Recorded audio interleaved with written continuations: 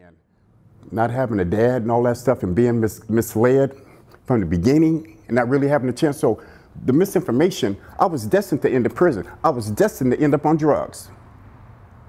The difference between night and day. I remember being on that PWT school bus and used to dread going home.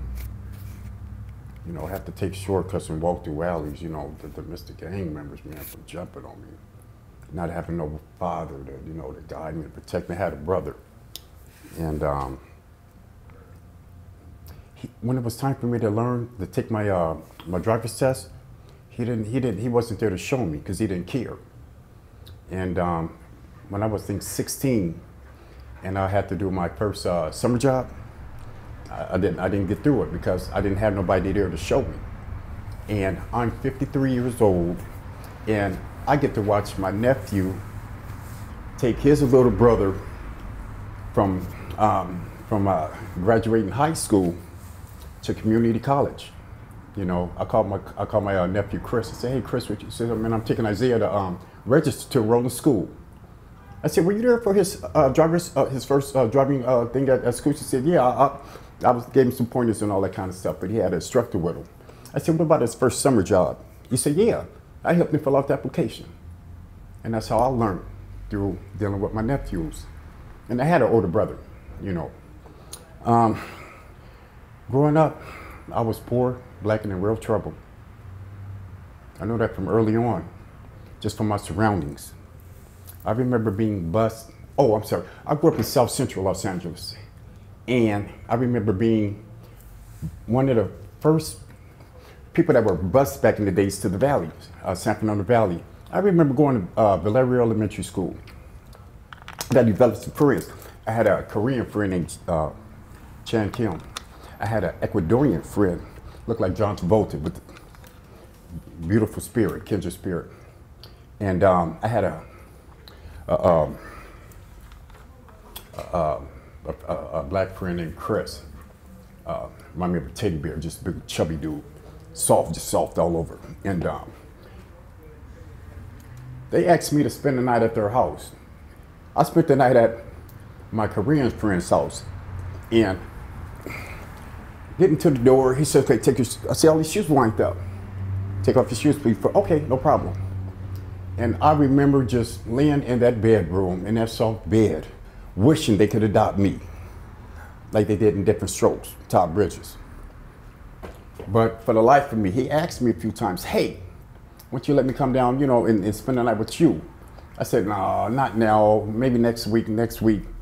But the real reason was being in his house and being in my house, he wouldn't, I didn't see no roaches, you know, looking at TV, you see him running up and down the wall, or see a, a mouse run right in front of you and stop and, and do his thing like you're not there. I felt ashamed, I felt embarrassed, and I felt anger. You know, not having dad. And um, just for being, just for being man, for being black, man, poor and in real trouble. I, I just couldn't fathom, man, the coming home. I remember taking Chris. I brought Chris down to spend a week, spend one, to spend a week in Saturday Sunday. My black friend from the valley in junior high. And I remember as we got deep, I remember we're walking up to my up the apartment building where I stayed in. And he looked, and I saw this look come over his face. And I said, I know I shouldn't have did this. Took him upstairs, introduced him to my mom, brother, sister. And, um, you know, he was just like, wow, you know, he just couldn't believe it. He couldn't believe somebody was this poor he didn't believe somebody can be this poor, this down and out, this out of luck. You know, and he, he put on a good cheer and everything. But after that, he didn't talk to me no more. Just like he just disappeared in the smoke. So when we graduated from junior high, that was it. I never saw him again. He never called me, never, he never kept in contact with me or nothing. He just, and I live with that every day. I felt the same way he did.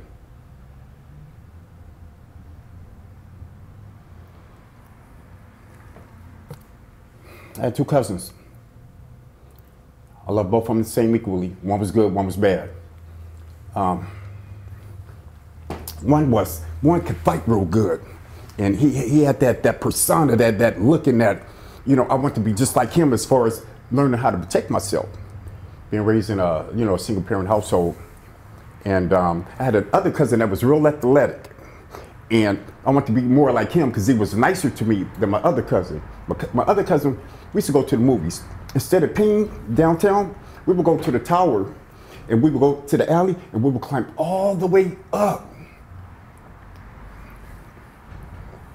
go to the top, go all the way, and climb all the way down. And um, I'm talking about 15, 16 stories high, man. And I would be so scared to death because I'm, I'm, I'm afraid of heights. I'd just be looking right. What are these? What else called? I forgot. The handrail. The handrails, okay. You're climbing the outside of the building. Uh huh. Climb the outside of the tower on Broadway. Mm-hmm. They have movies on Broadway. Um, Seventh and Broadway and the Tower, and I forgot the other one. But that one we couldn't climb over because they didn't have no um, no handrails in the back. But we had to get on top of the trash can. I remember there was six of us. And I'm looking up, I'm like, oh my God, I can't do it. For the life of me. I still I, I won't I won't get on top I won't get on top of a car. A truck could. That's how afraid I am. But back then, because my cousin, I want to impress him. I did it. I remember one time I was climbing and peeing on myself at the same time. I was so scared. That's not embarrassing, that's just the truth. But I did it for him to show him. I was like, um, oh, it's just, you know, just loyal, man, just loyal, just wanted to just, you know, just want to be anybody but me. You know, I was a mama's boy, my own shadow. Um, I had a few friends growing up, but like I said, I always just wanted, I just wanted to be like everybody else. I always feel different. I've always dressed different. I remember, um, I was 15. Punk rock had just came out. I was listening to the, the Sex Pistols, and um, I went to Hollywood, and I stayed gone for three days because I met these. I was in Hollywood walking down the street and walking down the side street, and these guys were in a in a um, by the side of this building. They say, "Hey, would you like something to drink? Would you like a beer?" I said, "Sure." I said, "Okay." I said, "What's that?" It's just a club. Come on, man. They took me in the club. I'm seeing all these people with the spike hair and all that stuff. I go downstairs. I see four youngsters, 13, 14 years old. This is in '84, and all of a sudden my, my foot was, was tapping and my and it's been on ever since. I've been listening to punk rock since 1984 and I still have a, a cool playlist that I listen to at the LA Fitness down the street. My point is, when I got down there and and I saw the spikes and it just it just ripped it, it, it it um it just did something to me. It just it just it just made me you know just took me somewhere I never thought I'd go. And um, I stayed gone four days. I didn't call home. We were in Hollywood. We bumped change. We drunk beer, marijuana, and we stayed in abandoned buildings. But I know I had to get home to go to school. But you know what? I came back with a mohawk. I got teased. I got bullied, but I didn't cut it until it was time to go to school. And that's the way I was growing up. I was just different. You know, when Michael Jackson came out, I had the little thing, had to look the Jheri curl.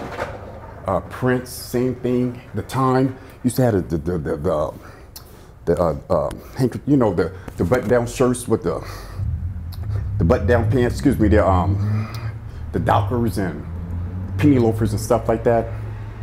And I remember I used to be a mod had the long trench coat with all the buttons. I had some 501 jeans and they had checkers on one side and, checkers on the other with Mitch Mack All-Star, Converse All-Stars. You know, that was me. And I had all kind of different hairdos. And um,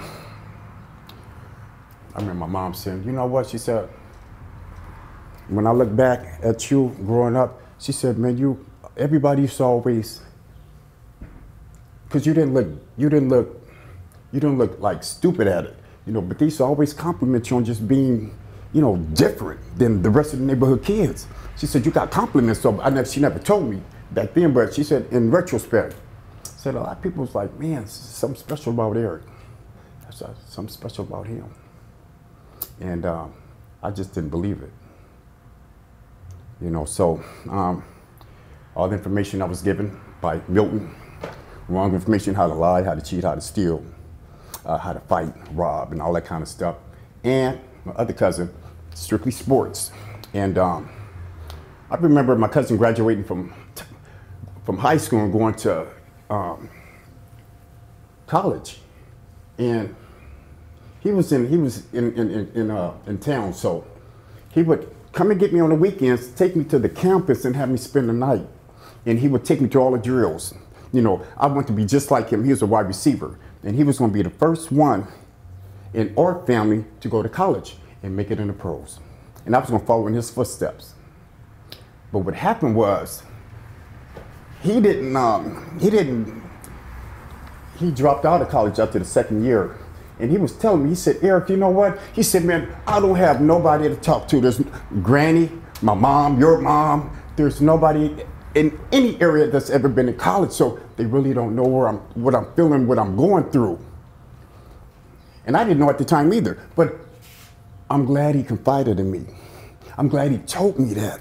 It meant a lot to me that he chose me to it's he didn't have nobody because nobody was at that level. But he, gave it to me, and I appreciate that. And I will always treasure that. He tried out for some NFL teams after he dropped out of college. And the last team I think he tried out for was the San Diego Chargers. And um, he didn't make it. So he felt like he let the family down. Because everybody was, you know, Thomas, he's gonna, he's gonna be the one. He's to be the one that do it. You know, he's going to be the one, you know. And when he didn't, he um, made a decision to marry his high school sweetheart and move to Texas.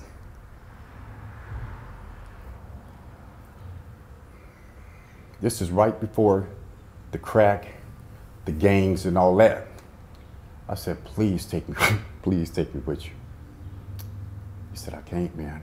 I said, but why all of a sudden? Why all of a sudden? Why now? Just off the blue. But why way to Texas? He said, just a decision he had to do. He just said, he just said he just had to do it for him. But many years later, when we talked, he told me why, because he felt like he let everybody down. And um, there he went. One day he was there, and I think about three days later, my cousin was gone. I love my cousin. I love my, I love, I love my cousin. He said, You know what, Eric? He says, Only one regret, man. I didn't invest in you. I should have invested in you when I didn't make it because you were better than me. And you weren't taught that you just had that natural ability. Man, I went through the school, you know, uh, Pop Warner and all that kind of stuff, junior high, high school. He said you didn't, but you, you just had that raw ability. He said, That's my only regret. I didn't invest in you when I didn't make it instead of leaving. So when he left, here come crack, here come gangs, and um, just a man, just it was just like wow. I didn't do the gang thing, mama's boy.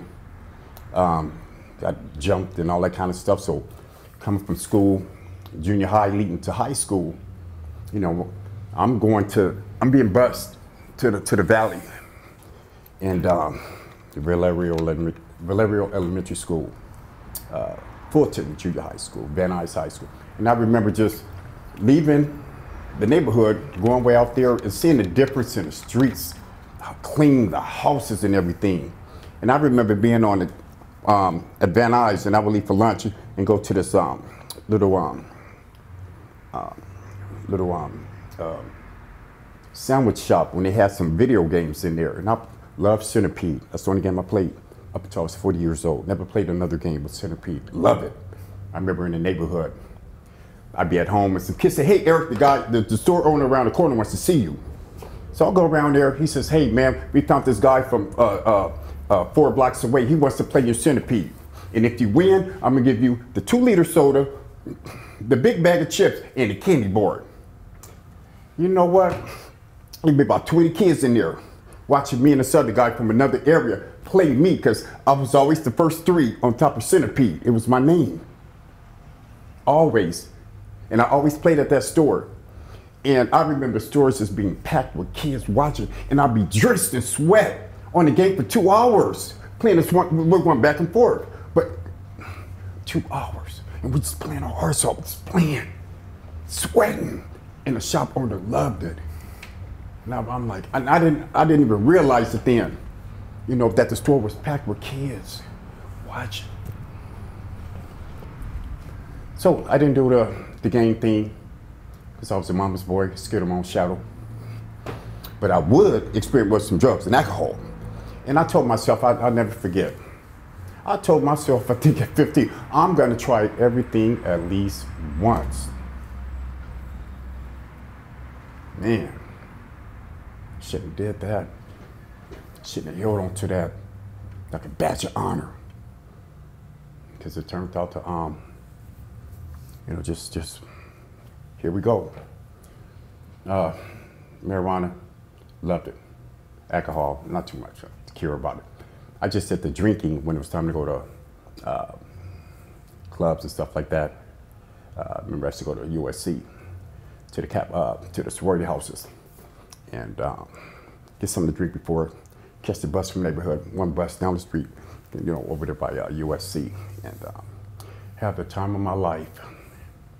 And um, I remember couldn't go to the neighborhood parties with my friends because how dangerous it was in my own neighborhood, you know. So um, it just gave me the courage, man, just to, to be okay with just me because I never felt okay with me. I never felt like I belonged in the family. Never, I just didn't. I went through self deception, self hatred, couldn't stand being black because what was depicted on TV just wasn't the same reality that I was living. I'm looking at different strokes. I'm like, oh man, why couldn't I be Todd Bridges? Looking at good times. Love good times because it was always a struggle, but the difference between good times was uh, J, uh, James, uh, JJ had a father, and um, I didn't. I didn't. So when Thomas left, Milton stepped in. And um, my introduction to person, crack. Hmm. I said I'd try everything once, and I would do anything for my family. Even though I knew some information was being shared with me was wrong, it didn't matter. I love my cousin. My, my, my family's not gonna hurt me to be the last ones to hurt me. And the two men that were left well, Thomas, when my cousin left was um, my brother and my cousin, and I didn't get I didn't get what I needed to be able to, to stand on my own. You know, I didn't know anything but wrong. You know, and I was I was just scared, man. I was a scary cat. You know, and drugs and alcohol made me feel better, made me feel like I could, like I could be. You know, and um, I never became because it wasn't reality. So I was stuck in this, this mindset under the influence of whatever it was at the time PCP, crack cocaine, marijuana, always marijuana and beer. Uh, shot heroin once. I remember the dude, I remember the guy said to me, don't, don't, don't, don't tell your mother, because she'll tell your grandma get at my mom, and I'll be up. Schitt's Creek, please, please, I'm gonna do this, but never.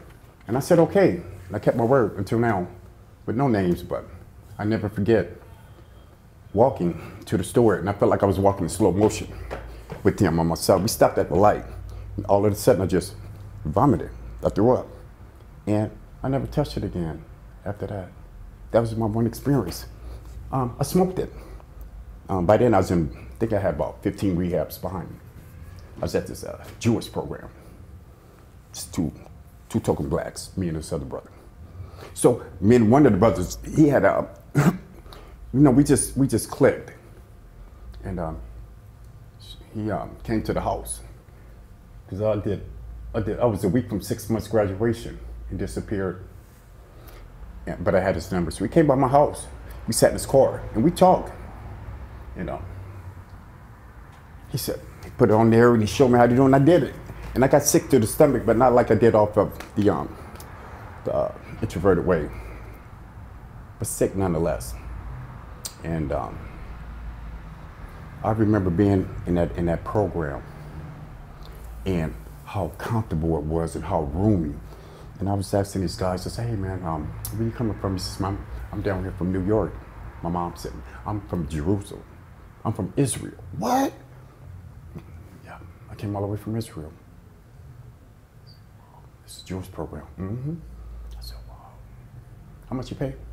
Uh, they said about 30000 I was on GR. I feel thankful. And just being around that and learning a few things and having somebody invest some time in me opened up my mind to what could be rather than just, just being stuck in this this South Central kind of mentality. You know, this uh, rap only and, and, and, and just what I thought I knew. You know, just my little, what I had as far as blinders. I didn't see nothing but my experience. And being in the Jewish program opened up me to other people's experiences and how far they came from and how we all had something in common. You know, so um, I remember being turned on to crack. First time I took a hit, loved it. Fell in love. Never will be the same. And I knew it. I knew in the depths of my soul that I was really headed for something and I knew it wasn't going to be nothing good. And real fast, I became a thief, a liar, a cheat, and homeless within three years of being 15 years old to 18. I was homeless at 18 and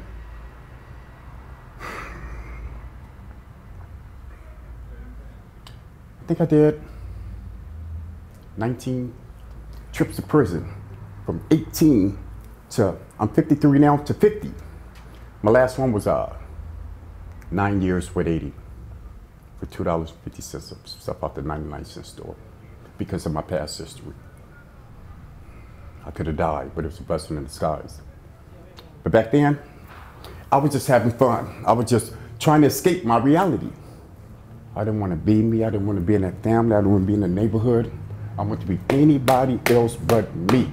So I took on different parts of, I took a part of my cousin Thomas. I took a part of Milton, Todd, and all these other people that I grew up that I, that I liked.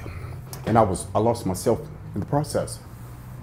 It took me to be 51 years old to finally see, register who was looking back at me in the mirror. To get to know that person. Who's just looking back at you? You know, this person loves you, depends on you, and needs you to be there for him. Like you're loyal to others. He was loyal to the dope man because he's to give you something.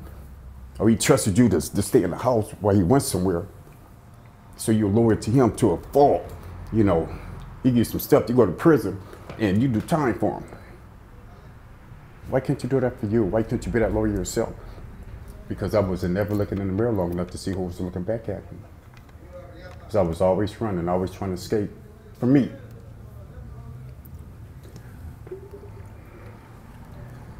I got dealt, you know, even though I got the wrong information from the beginning, I, I understand that because looking back in retrospect, it's what they were taught. So these, they were just giving me what they were taught, even though it was wrong.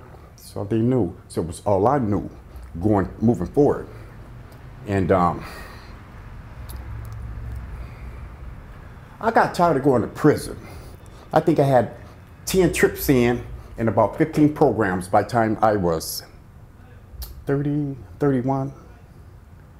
No, so, I'm sorry. My bad. About 20, 26, 27. So, um, man, I took a chance because I was, you know, from, from being in prison at 18, they had weights back then. So I'm I'm real big and I'm real strong. I look like um. They called me back then. They called me um. What they call me back then when I was younger? They called me like they said, man, you look like a superhero. You know, cause I'm just. And um, I, I did. You know, tall, dark, and handsome with muscles. So that was an extra something that I had, you know, in my favor moving forward. You know, and um, it was all about the outside. All about that. I couldn't see past what you saw. So how you feel determined how how much value I placed on me. And um, the women that um, you know that I had, um, my relationships. You know, my worth was based on, you know, how well I made love to them, how I satisfied them, you know, how proud they were to be with me when we were out. You know, I couldn't just factor in just having just having it for me, you know. But I always place it on somebody else's if they feel good, if they're happy, if they're sad, then I'm sad. Then my value for me goes down, my worth goes down if they get upset. You know, and when the relationship didn't work, back at my mom's house, back and doing the thing all doing the same thing all over again. So um, after about five uh, relationships, about 15 uh, programs, and about nine trips to prison, two, uh, 16 months, four years, nine months, seven months, violations. Um, every time I come home, get in the gym, and I was in the gym, and the guy said, "Hey, excuse me, like, can I talk to you?" He says, uh, "I wonder if you can train me." I said, "Sure." And uh, we, we started. I started training him, and he said, "I'd like to take some pictures one day and submit them to a magazine, because I think you just might." And um, I said, "Sure." So I did the I did a couple. Um, I did one where I was had a chainsaw, cut off lumberjack shirt on the ladder with the bandana. Then the other one, the other photo sh- uh, shoot I did, I was like a, a police officer with the cut off sleeves and everything. And about two months later, he calls me. You made the cover, man. I was so happy. I couldn't believe it. Out of this world, man. What? Me? You made the cover of a of a real um, real good magazine, man. Uh, uh, World known. You know, he said there, you know, a lot of people read it. And uh, I said, okay, what kind of magazine is it? Oh, it's a gay magazine. What? I'm not gay. It don't matter. You made it. Okay, I made it. And I was okay with that. And with that, we went by different uh, adult bookstores. And he said, see you? I said, that's you. So I get one from here and I get one from this video store. We go to different stores. And since the the proprietor knows it's me that's on there, I get it for free. So I get two, three from this one, two from this one. And got home, look, mom. Oh, wow. You made the, yes, an adult book though. But I was so happy. I passed them out in the neighborhood. I didn't give, I didn't give a damn about somebody. It didn't matter to me. It didn't. Shit, I, I was somebody. You know, I made my own way. I, I finally did something, you know, on my own that um, that um, gained recognition, man. So I feel proud. I'm giving, it, it doesn't matter. And from there, um, I got approached about doing movies, amateur dope movies. I said, how much is it? And uh, he told me. I said, wait a minute. Let me, um, let me, let, okay, I tried it out. So I, so I did two straight movies. Got paid. And then paid nothing supposed to be 250, nothing. Too many, too many men, so you just ran out of money. So, but I found out the guy was using us like that, so he wouldn't have to pay us. It was deployed, you know, a gangbang movie. So it's like nine of us and, and, and two women. But the women getting, you know, good money. He said, now you guys can get paid because this is just like an introduction into the business. You know, you guys are all new at this, so just want to get you comfortable. I'm, I'm, okay, I'm cool with that. But after the second time, I'm like, uh-uh, no more gangbang movies. I need something. You know, I need something. Because I remember the first one, I did all four in succession, you know, and came all four times. And I remember being around these men when it was time to get naked, take your business. I never forget it was this little short kid, little short white kid. And I looked down at him. I said, "Hey, what are you doing here?" He said, "Man, I just came to enjoy myself, man." I said, "What do you do?" He said, "I go to school, man." You know, I said, "I- "I'm in college." And I said, "Man, it takes." And I said to myself, "I wish I could be him, his size, his stature, because he had balls. He he just he had something. I was looking at him, being in this environment." little fragile looking white kid, man, and I'm I'm 6'2 looking like um, the big bad wolf. And I'm looking at this kid like, wow, he's he's you know. So I got all the muscles, the big dick and all that. And this little kid, and I'm like, wow, man, I wish I could be him. Because he was honest. I wasn't.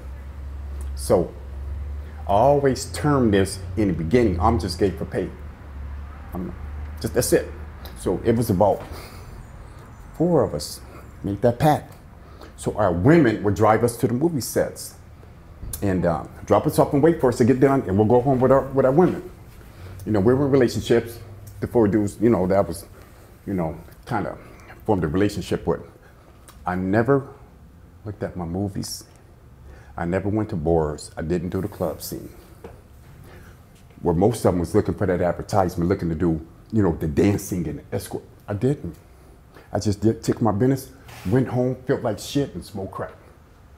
Because I knew one day my family was gonna see that it was more than books that I did, photo shoots. But by then the crack had me. And I was tired of going to prison, and I found something that'd keep my ass out of prison. And it kept me out of prison seven years doing movies steady income. That's just what I needed. Didn't have to rob, steal, borrow, beg, and nothing. I was able to take care of myself, man, and do what I want to do my way. And um, I missed a lot of opportunities during that time too, because doors were opening, but I feel so bad so hurt about man, you know, I'm, I'm doing these gay movies, and I have a, woman, you know, I love women, but I'm doing them. I'm, I'm. It's hurt me. It, it's like a on the movie set, I'm I'm good. Off the movie set, I'm I'm, I'm just something. It's like I'm living two lives, man. I'm I'm arrogant and I'm flex. Sometimes I go into flex and don't turn them off. Sometimes I'm arrogant, can't turn Eric out. And, you know, sometimes I got confused with the two. The percent, I forget sometimes because somebody recognized me somewhere. Hey, hey, man, I love you. I love you. Oh, thank you. You know, uh, people used to come um, visit me from London. Spend an hour, maybe two, no, two hours. Uh, New York, flew me out just to, I, I had no idea because, like I said, I do my movie and I go home. That's it. Nothing else. Where everybody else is just out there enjoying themselves, having a good time. I was, I was uh, killing myself slowly with crack cocaine because of the guilt and shame. And one day, I think, uh, yeah, about six years into it, 60 movies around six. I did about 10 a year. And I did, I did them with one, I was loyal to one company all those years. And I branched off a little bit, made more money. But I was more comfortable with the, you know, this one, this one. And uh, my little cousin happened to be in a adult bookstore and saw me and rang the alarm. I don't know what she said, but it was enough to have everybody call me like, man, you know, like I had um, robbed a bank or something. I'm like, what did she say? Why did you? Well, whatever, you know. So I don't know what she said. I never asked her, but I know it was something that I think she put more on it than she should have. Because to me, I'm just supporting myself, support my habit. I'm staying out of trouble. I'm staying out of prison. Whoop, whoop. But most of I'm just I'm just I'm just taking care of me. And that's the way I looked at it. You know, I'm just taking care of me. I never saw myself as a superstar or somebody, but that's how everybody else is looking at me. I, I, I couldn't see it because I was lost in the sauce. I said my reality was still uh, South Central. So I'm going, I'm going to these nice homes, making a scene in Woodland Hills with the pool overlooking the mountain as it goes down. I'm at those kind of houses. And I'm just walking, you know, drinking water, going to the restroom, and you know, I'm like, just, you know, I'm just like, wow, see the Hollywood sign right there. I'm like, God, this is incredible, you know. And then after the shoot, I'm back in South Central, feeling like a piece of shit. Because I should be out there, not down here. How many movies has I made? People want to deal with me? So, the cat was out the bag. And um, everybody, man, just, it's like the flood walls, you know, hey man, are you gay? Hey man. You know, and, and when I told them no, some didn't believe me. I didn't give a damn. I didn't care at that point because it was over, man. You know, the gig was up. And I think about a year after that, I stopped. Didn't do no more.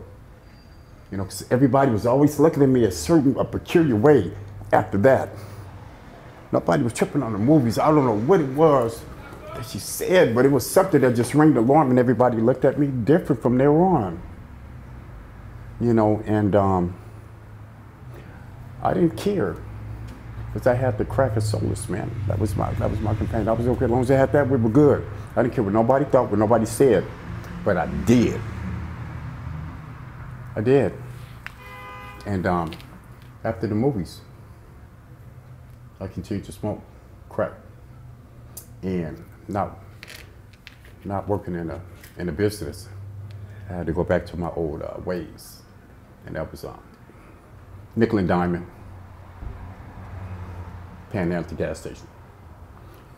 Um, still at the little 99 cent stores, stuff like that. And um, went back in trouble. Went back into that business cycle real fast. And um, I remember going, I think I went to prison, yeah, 19 times. But I remember the last time, I remember the first time and the last time going to prison. I remember my first rehab and my last rehab center. But my last trip to prison, um, I was coming out of the store, two dollars forty, two dollars fifty cent face cream, face cream for a woman at twelve. Tried to stop me. Um, still not making a story, Phil. And um, I continued on. And somebody just happened to be at the light watching as a little uh, as a little altercation, as a, uh, altercation that um, taking place. So I'm walking down the street, take my hat, toss it, get to the, hit the corner, take my little shirt off, toss it under the car, continue to walk. Two face creams. All of a sudden, you hear this. I said, oh shit. I, I just knew. And um, hey, they stopped. Put your hands up. And I remember the judge um, um, the public defender told me, hey man, nine with 80. I said, for $2.50, I'm not taking that. That's seven. I said, how much is that? Nine with 80. That's seven years and one month. Man, I'm 43, I'll be 50 when I come home. Can't do it. You're not willing to go no lower. And if you go to trial, you get 16 years. So I thought about it. Mind you, I had my family here. My mom, my sister, my two nephews. And they were always talking to the uh, district, uh, the public defender. I had no idea because I'm in there for five minutes. I'm, in, I'm already incarcerated. So first, first in, first out. but what happened was, my mother and the district uh, and the public defender interacting, and her showing pictures of, of my grandfather, the first black police chief, of my uncle, military, and all that kind of stuff. She showed them a different a different person than what was in writing. In writing was just a a long history of uh, petty thefts, crimes, stuff like that. Nickel and dime stuff. All drug related, all drug induced. Because I just had to have it. And um, I never forget the district attorney came to the to the holding cells. He said, "Hey, man, I've been prosecuting men for over 15 years. That's my job. Your mom and the public defender took my eyes off of your crimes because that's what I'm based on. What's written and, and to see you as a as a person." He said, I never came back here and talked to nobody. He said, I'm not going down on the nine years with 80. But what I would suggest is when you do take do all the classes, get all you can out of there, and when you come home, don't look back. That's the best I can do, and I'm giving you two hours to set that or not, and that's it. And um, he left. I thought about it, I said, wow, that was interesting. Him, him coming up just to share that with me. He said, by the way, he played um he played the tape, and I'm walking down the street and he said, "Oh, he just took a shirt. Oh, he took his hat off. Yeah, uh huh. Oh, he took his shirt. Yeah, he just put on here. Oh, we're following him. Uh, yes, yes. He's sitting out there every time you go to court. Two people that you're hearing now, they're out there, in court. You got witnesses. I don't want to give you the 16. I want to give you nine. But if you lose, I'll give you the whole thing because I should have get. Uh, you said I started off with 16. But your mom, uh, public, uh, public defender, took my eyes off that paper, man, to see a human being. He said, I ain't saw a face in a long time. You're the first one. I said, wow. And uh, I took it. I took this. Uh, I took the nine he uh, went to prison. Took advantage of all the classes. Uh, stayed in library. Uh, stayed in. Um, dropped out in ninth grade. That, that, wait a minute. 10th? 10th grade, yeah. I just disappeared after 10th grade. Not having a dad and all that stuff and being mis misled from the beginning and not really having a chance. So the misinformation, I was destined to end up prison. I was destined to end up on drugs. And I remember, I, I, okay. Anyway, took advantage of the classes. And I remember some men showing up at the prison. We're talking, interacting. I'm a son God left uh, Portis, uh, five years. I'm, I'm a son four years, three years. And can't wait to, man, man, uh, come on, you're gonna, we're gonna see you. What? Yeah, we're gonna see you. think you guys are way out. Yeah, we're gonna, we're gonna, we're gonna hook up. Okay. And I met five men in prison and we made a pact. So it was, we meet in library and um, chop it up talk. And um, five went home, um, one went home, the next one, the next one, and it was me and my partner. He said, before he, he, he went, he paroled one month earlier. He said, hey man, I'm gonna leave a phone on for you to call. I need you to call me once a week until you parole. Call me on your parole. I know when you parole already, but call me once a week leading up to it. I said, okay. He said, I'm going to be at the train stop to get you. I said, yeah, okay, yeah, right. You know how many times I heard that? Been in prison, what? Uh, 19 times? I heard all those kind of stories, man. Oh, I'm going to take this, I'm going to do that. I mean, get, please, yeah, right. I said, watch. Guys, they be called to go home, and they'd be petrified, man, because they had no clue on where they were going to go, what they were going to do because they weren't prepared and didn't have a plan. And I didn't see it until my last time because I was doing all the things that I was supposed to be doing necessary to come into that, into that, um, oh, I forgot the word. But the seven years and one, seven years and one month, during that time, I got to see different people, seeing what they were doing, what they weren't doing. I didn't have to ask questions. I just watched okay, I'm not gonna do that. I'll do this. And I didn't talk for two years. The first two years I was in prison. I remember I was talking to one guy about one of the classes, and the CO walked by and said, Hey, Portis. I said, Man, that's the first time I heard you talk in a couple years, man. I didn't even, it, it didn't even dawn on me, man, that I didn't talk the first two years. I just wanted to be left alone. Because I wasn't happy with the 9 with 80. I, I, I always felt there was too much, but it just turned out to be a blessing in disguise. And um, I remember I had a GED teacher. she always, you know, she'll call me, come Porter. So she, she'll step with me from a woman's perspective. I said, okay, thank you. Then the sponsors, all the, it was the women in prison who wanted to see the men um, do good. The men in prison, they didn't care about us because, you know, prison is prison. You know, it's for like losers. But I noticed the women running, uh, staying after work, um, um, volunteering for the, you know, for the, to go get the, the, the AA panel or whatever, the toast, whatever was going on, the different classes. It was always women representatives, you know, that worked for the prison that stayed overtime after work from uh, 6 to 7.30, hour and a half, hour 45 minutes for a, a meeting, um, you know, whatever it was that was going uh, they had, they had a AA, they had NA Toastmasters, the Wharton Book Club, they had pre-release, and he had some, some other stuff. And um, the women really influenced me. They really helped me see it from a different, a different uh, angle. Because chopping up with the fellas, is it's, it's the same old thing. You know, we're just talking the surface things. Oh, what you? Oh man, yeah, I was just, you know, I have four women. This, just talking to the, the, the, the um, talking, talk, shucking jiving, bullshitting each other, lying. I've never seen nothing, done nothing. We're just gonna put it out there. They say, hey, OG, what you here for? I say, man, I was out there in the way. I was out there, um, nickel and diamond, man. I wasn't doing nothing, just in the way. And I said, God, son, I was just in the way. And when I admitted that, I felt the freedom. So year one go by, year two go by, year three go by. I'm still doing the classes, the library. Um, I implemented, I had to implement, implement something into my program because all I had was my mother. She's getting older. She's on a fixed income.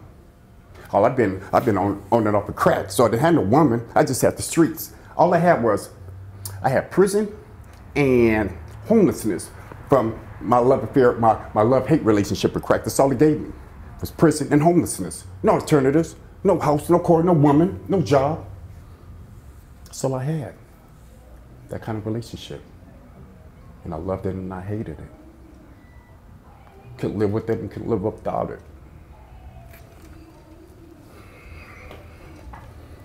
So, I remember doing, just doing, doing it, doing the classes. I said, wait a minute, I don't braid hair.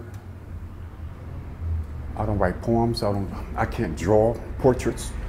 I'm not washing no clothes. I'm not, you know. I said, I have to find my, my niche in here because my mom's getting older. She, she's the only one that's really looking out for me. And um, I start training. And I, within my first year, two hours a day, I had it where I was training seven days a week, different men. Train one two days, train another guy two days, and another three days. And my, my you know my, my schedule was full, so every day for two hours, you see me the first hour training somebody. Then you see me the second hour by myself, because that was my time for me. And this went on for five and a half years straight. Let's run a modified program, a lockdown, I'm out there in the yard and if it was raining, they didn't come. I was out there. I went out in the rain to sleep. It didn't matter. And um, I used to get referred to when I was, you know, going to different. Hey, trainer. Hey, it's the trainer. That's the trainer. And it felt good because I was doing something positive. You know, I was getting accolades and kudos for something good, even in a place like that with its haters and prison politics and the, the nonsense that goes on everybody that reached out to me were sincere and they meant it. I remember three years until my, my incarceration, I qualified for this reentry program. So they sent me to a different prison. That, that didn't work out after a year and a half. So they said, would you like to go back to where you came from for the remainder of your sentence or somewhere new? I said, no, just send me back where I started. I ended up back at the place where I started. And I'm on the yard one day and uh, my GED teacher.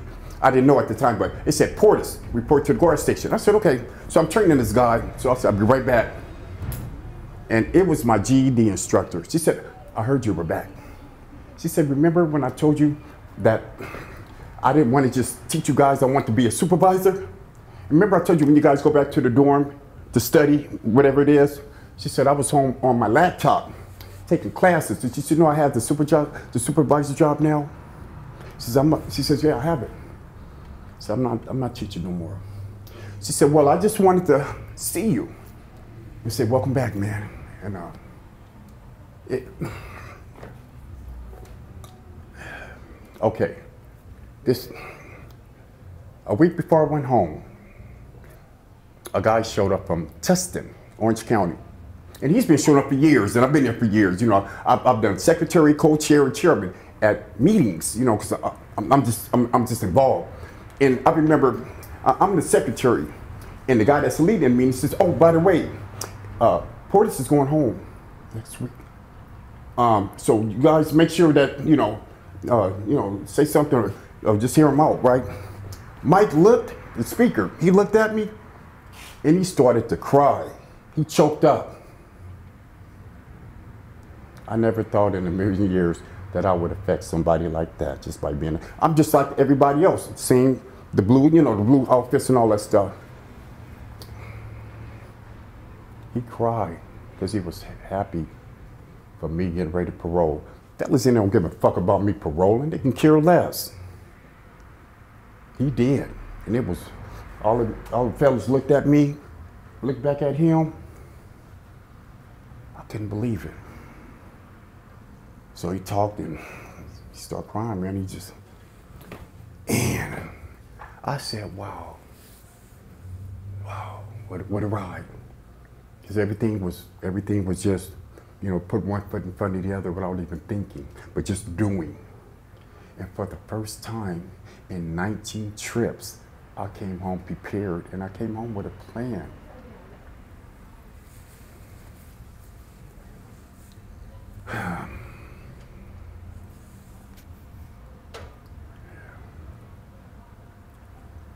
Okay, oh, I was the last one to leave out the five guys, the five men. Um, I parole, got down to Union Station. True to his word, my friend was there to get me. We go to Van Nuys, hometown buffet. The other three are there waiting. We meet. Round table, all we can eat in celebration of me coming home. So, my partner was in a, so we're living in a, uh, San Pedro. So he said, I'm gonna take you by your mom's house and then you come out there with me and we'll do our thing from there. So you won't be no burden on nobody. You've been gone a long time and all that kind of stuff. So you have to be kind of, you know, re- integrated with, you know, society and all that stuff. You know, I said, cool. So we're by my mom's house. He says, you know what, son, you don't mind if you don't go to the sober living, but you stay here and help me out for a while? I said, okay. So I went out to the car and told my partner, hey, she wants, um, he said, okay, you know, you go and get your stuff off the car. And um, I got my little stuff and went in, and um, got to be with my mother, man, after seven, seven and a half years. But what I saw reality was different than what I envisioned when, when, when, when I was in prison, just thinking about, you know, what my mom would look like now. When I came home, she was old and she couldn't get around like she used to. And it shocked me so much to where I broke down. I used to go in the room and just cry, regain composure, and go back and deal with my mother and society and everything else that had to offer me, man. It wasn't easy. But I had friends that cared, one in particular cared enough about me to make sure that I was going to be okay, that there's nothing that I can tell them, there's nothing, you know, and it went both ways.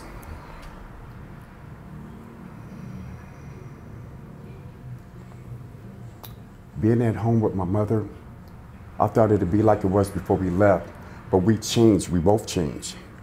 And I remember sometimes she say, "Hey man, I'm gonna call your friend if you keep on doing this or doing that." He says, "Hey Eric, your mom says you're scaring her. She feels afraid. She feels fearful." Man, come on. But I didn't see that she, we changed, man. I thought it'd be like I imagined it, but in reality, it wasn't we have, we, you know, we have our little disagreements and stuff like that. And I wouldn't talk to her for two, three days, man. And I'm in one room, she's in another room. She had a two bedroom apartment. And um, She said, okay, man, son, I apologize, man, for whatever. If I did it, my, bad, but we can't walk through here without saying anything to each other. I said, okay, mom. You know, just keep the drama down. But I was with her a year and a half. She's on Section 8. So the people are coming through to check out the place. So I have to leave. But they kept noticing men's stuff, men things in, in the closet in the other room. Say, hey, man, come on. What's going on? Okay, my son is with me. They said, well, you can't have him here, you know, long. You have to, you know, he can stay two, three days, you know, whatever. I said, okay, mom, I'll go to a rehab. You know what? Let me back up. I was going to meetings. Let me back up. I paroled. The next day, I got uh, uh, a membership at the 24 Hour Fitness. I started going to uh, meetings, and a year into it, I met a girl. Beautiful, Puerto Rican and black, body out this world. And she said she like she like uh, uh, party favors. Now I told her, hey, I'm, I'm you know I'm in the I'm in the program doing my thing. I've been home, you know, year. I got this much time accumulated. What do you mean party favors? Drugs. I'm like, okay, man, I ain't tripping on that. Been there, done that. So we hook up two weeks later. Now she's from New York. She's down here. She just got here. She's at, um, at the train station, right? So we talking. I said, what you doing all that luggage? And she explained to me, you know, just got here, New York. Put, okay, get all that. She said, need time to get situated. We'll hook up. I'll call you. She called me about two weeks later. Now, within that year, I got, uh, I got my driver's license. That was the first thing I did. And I got it at 50. First time I took the written test, I passed it. First time I took the driver's test, I passed it. Didn't know I had it in me. Never could imagine, never would fathom. And that opened me up to just think of sky's the limit, man. There's nothing I can't do if I put my mind to it. And I never thought like that. Never. Never. But I was gone long enough for my head to clear for me to do different things. And it just became, um, it became a rhythm. It just became a natural part of me to where on the streets, practicing the same, it was just natural. And within that year, I had a car and I was, from, from the driver license to buying a car, proper insurance, registration, all that. And um, to looking forward to moving out my mom's house. Now, I had some real good examples. I had good examples in prison by the women. The women were my mentors because those were the only ones there that were willing to stay extra to help us men along through our years of being in that place. I had one mentor on the street and he showed me through his actions. He told me his story and how he wasn't, his wife didn't trust him. I watched him sober living, visit his wife, sleeping on the living room sofa to her saying, because she wanted him there for a year, because he did something to her prior to going to prison, wasn't cool with, didn't trust him. I watched him watch it because we're dealing with each other maybe once. He's coming to my house once a week, and we're, we're just dealing with each other in meetings. So I'm watching him all the time. He said, if you really want to know somebody, watch him. Hear what they say. I said, okay. And within five months, he was back at home because he showed his wife that he was serious. And he taught me something. The same thing. And before you knew it, I was somewhere I'd never been before. I, I, was I was in unknown territory, and I loved it. I remember a relationship I was in with this woman. I think I was in three before I met her in my downfall. But the the one before her, uh, she flew me up north to her place, and I'm like, what? When I get to her place, she has a chest full of nice things. Oh, these are for you. I just Nike shoes, Cap. What? Uh, Guess cologne. Nice bill. Nike shorts. Hat. She has a nice car, BMW.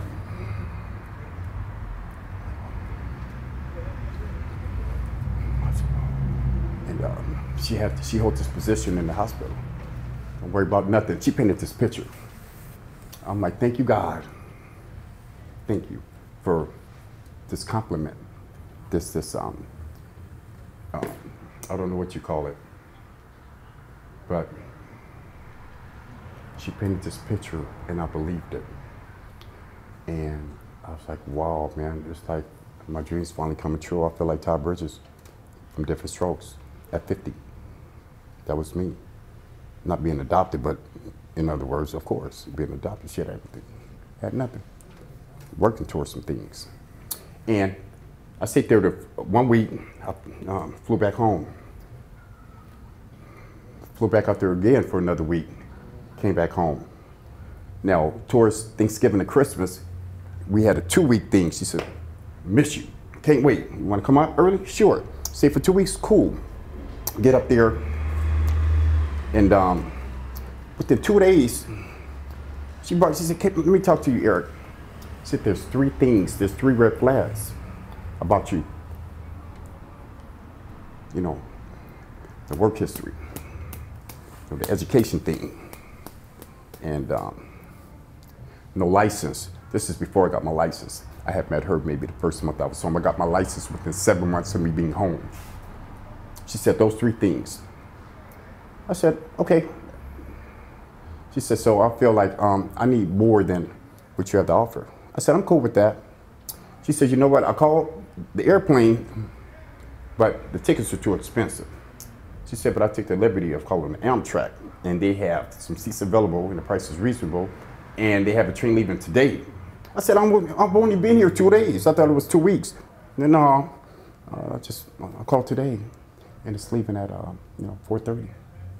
I said, okay, I'll go ahead and get my things. And um, going back to the to the train, man. She says, you're the first man I've met that didn't curse me out and want to jump on me for breaking up. She said, why, why you? I said, because you were honest with me. You told me the truth. That's all I ever wanted my whole life.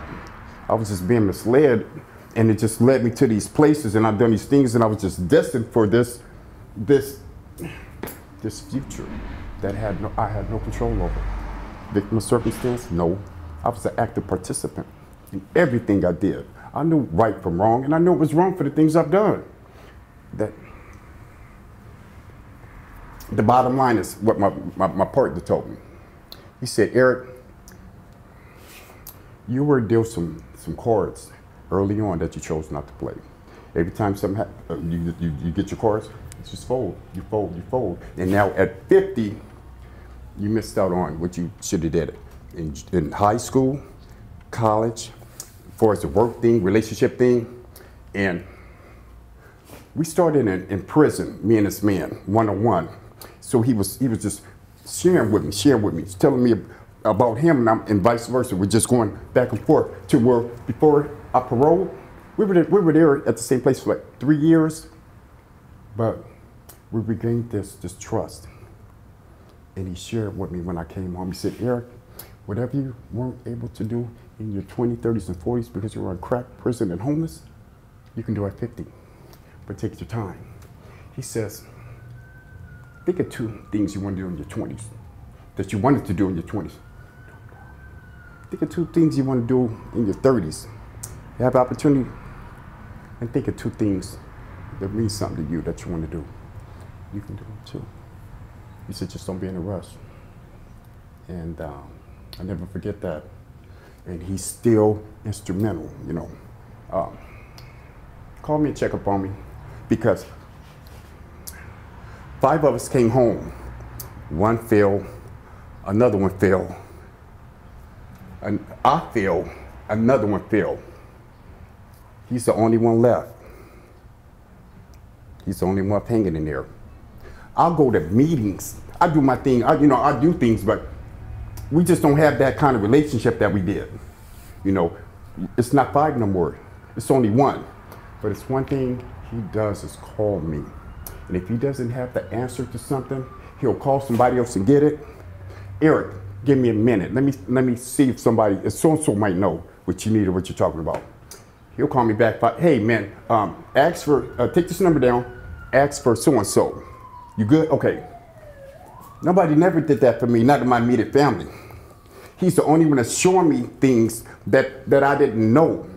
You know, he's even in prison, he's the, you know, he'll he'll he'll he'll show me through his experience of what it was to the first uh, uh, uh, uh, drive, his driver's test, his um, his first job, um, even in relationships with women. He's been with the same woman a long time, so I don't need to ask somebody that's not in a relationship about something I might be going through because he knows he's still in one. But he always painted the picture so I could see it of what it was like to be in junior high, emotionally and mentally, high school, four years of college.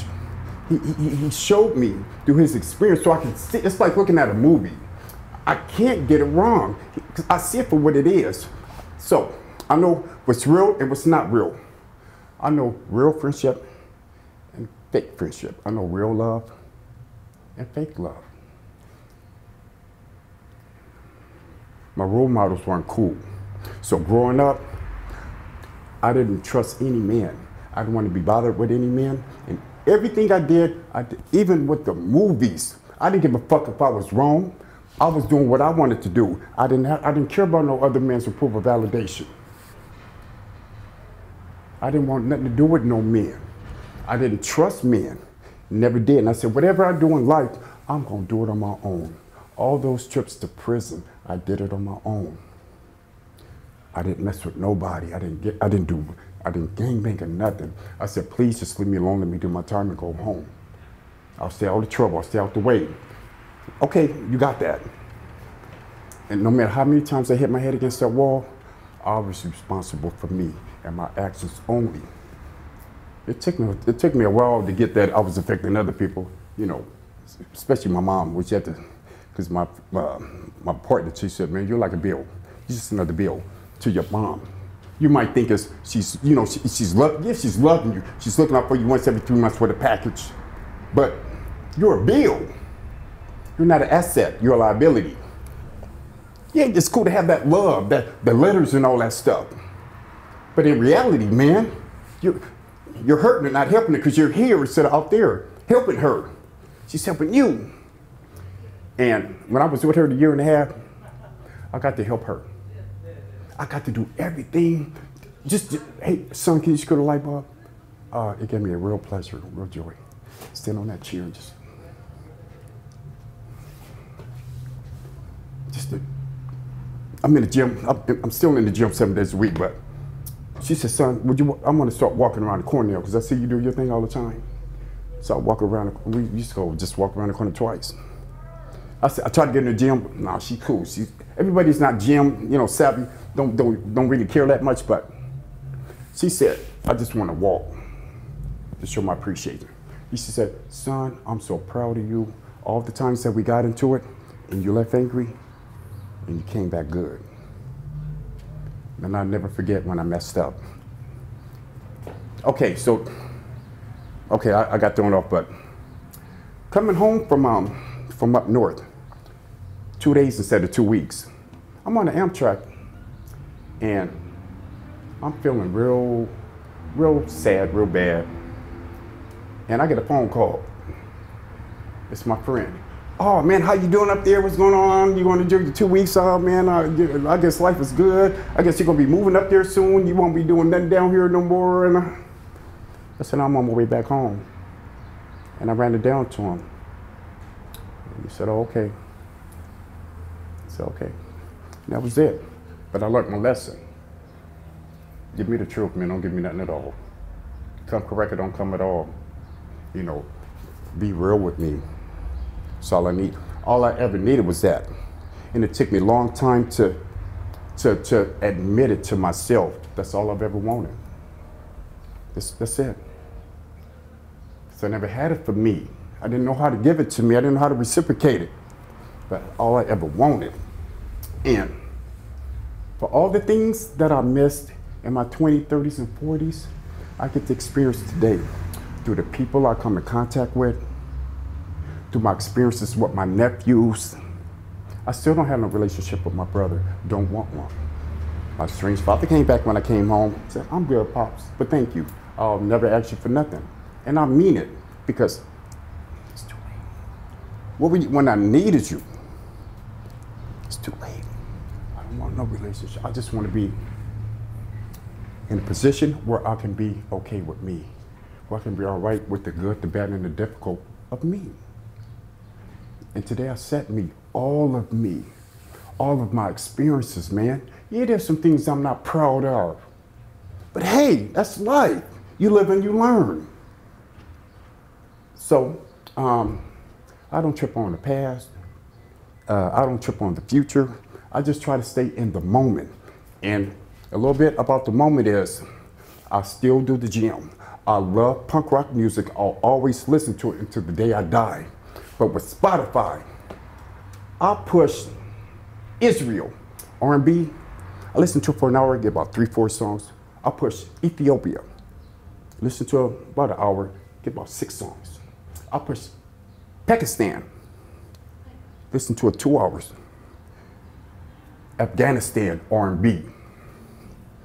About six days, because the beats. Uh, uh, Spotify has given me the opportunity to travel all around the world through the music. I've never had my own place. I've always lived with women growing up from first since I was a teenager. I was the first one out the house at 15, mind you. But I've always lived with women. And if it worked, cool. If it didn't work, back with moms until that last trip to prison. And going back to her, it wasn't a hindrance because I, I, didn't plan on going there. She asked me if I would stay. That's the only reason why I, uh, I stayed with my mom when I paroled. She asked me if I wouldn't mind. I didn't want to be no hindrance. No, I wanted to be a help. I wanted to be an asset. And um, I have my own place today. Um, 53 years old. Took three years to get to where I'm at. And this is just a stepping stone for me. Downtown Los Angeles in a small studio. But it's mine and I had the keys to it. It's clean. I have food, uh, clean clothes. You know, in the gym, I go to meetings, a couple now. I don't go as much as I used to because I went there to just to, you know, get comfortable again with, with, with, with just being home. But I'm past the meeting stage to where I'm just living. I want to live, man. I don't want to survive. I know how to survive. I, I, want a life worth living. Uh, been in a few relationships. Last one I was in didn't work. Um, but that's okay because if there's one thing for sure that I know is ain't nothing going on but the rent. And then comes the gym, and then the meeting, and then the whatever else that comes, you know. But I still visit my mom. Um, people still see me and, and, and, and notice me from 20 years ago. I don't live that lifestyle no more. I'm not that person, but when, when I'm, man, when I'm coming from the gym and I'm at the bus stop, hey, and we talk, it just brings back, you know, hey, you know, this, this, this is my story, man. It's a part of my life, man. And I have some men tell me, you should have somebody write a book about you, tell your story. I never thought about it like that until recently because more people told me. So somebody needs to write a book. And the cool thing about it is I read a lot of autobiographies in prison. And the, a real good one was Richard Pryor. I remember reading his autobiography and I remember sometimes at night I tossed and turned. I remember sometimes I couldn't sleep by something I read. I remember sometimes I cried. I remember sometimes I laughed. I said, wow, a book like that can evoke these kind of emotions in me. That's a damn good book. And another one was Scar Tissue by Anthony Kiedis. I love this story. You know, that goes back to the music, Red Hot Chili Peppers. I love his, those two. I read, I read his twice, Anthony Kiedis. Scar Tissue. But his struggles with drugs and alcohol and to overcoming. You know, um, I'm still a work in progress, man. I'm not perfect, not by far, but I make sure at the end of the day, I keep my side of the street clean. You know, um, I want to be welcoming. I don't want to walk around with the scowl on my face, with the anger and all that kind of stuff with my hands balled up, because you can't get a damn thing like this. But you get a whole lot like this. So when I'm at the bus stop, as big as I am, I want my face to, to read, you know, um, um, welcome. And usually when people stand by me at the, we just talk. And I love a good conversation because everybody has the earbuds, the phones, and all that kind of stuff. And nobody's really, I told a lady at the, um, I went this morning to this place called the Hippie Chicken. Oh, excuse me, the Hippie Kitchen for, um, for lunch and um, had beans and some good salad. So I'm behind this lady. We just start conversing. Find out she was an uh, instructor. I'd never been an instructor, but I told her about the gym and all kind of stuff. She said, why don't you do it? I said, nah, I'm good. 53 years old. I'm good. I just like to, this is just maintenance now for me. But I said, you know, I want to thank you, lady, for engaging me. I said, it gives me real pleasure to interact with you. Just like this. I said, thank you for making my day. that's what I need today, just something like that. I don't care where it comes from, just that. That's enough for me to make it through today. Because nobody knows what I've been through, nobody knows what I'm going through. How would you know if you never asked? And how would I know if I never asked you? Same question. So I'm mindful and I'm always paying attention to if I can ask that, how you doing today? How, you need help? This and that's that's where I'm at. And um, man, this is just this is just the beginning. It's just the beginning for me. Thank you. Because I know, you know, there's some things about what I should have did back then that I can do now. Uh, they were doing dildos. They want to do one. I should have did it. Because now it, it's still it's a, poss- a strong possibility that I can make all the money because a lot.